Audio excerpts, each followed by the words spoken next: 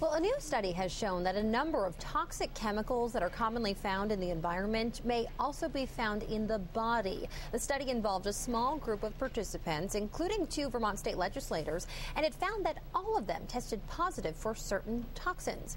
News Channel 5's Anya Haneke has more.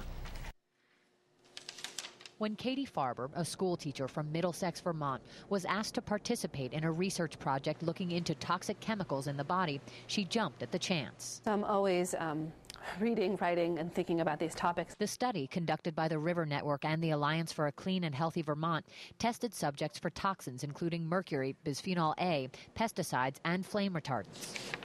Farber says she tries hard to limit her family's exposure to harmful chemicals, so she was expecting pretty good results. I was feeling very great when they said, "Oh, you don't have any mercury. My pesticides were okay." And then when they showed me the flame retardants, which I was way higher than any other participant, um, I was stunned. Wednesday, the study's findings were released at the State House in Montpelier, revealing that Farber is in good company when it comes to toxins in the body.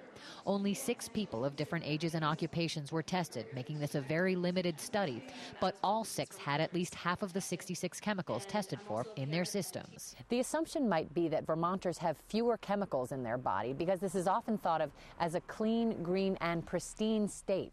But according to this study, which is actually just a small sample of the population, they are, in fact, no better off than the rest of the country. We're right in there with the rest of the country. Steve Dickens of the River Network says the results were somewhat intuitive. Older participants had higher levels of DDT, a pesticide banned in the 70s, and younger participants tested higher for DECA, a flame retardant found in some electronics. House Representative David Zuckerman, one of the subjects, had very high levels of bisphenol A found in some plastics. He always carries a water bottle with him on his farm.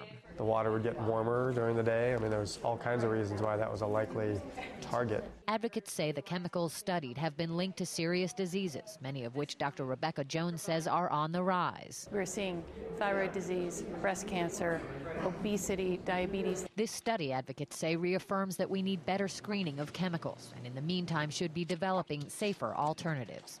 In Middlesex, Anya Haneke, News Channel 5.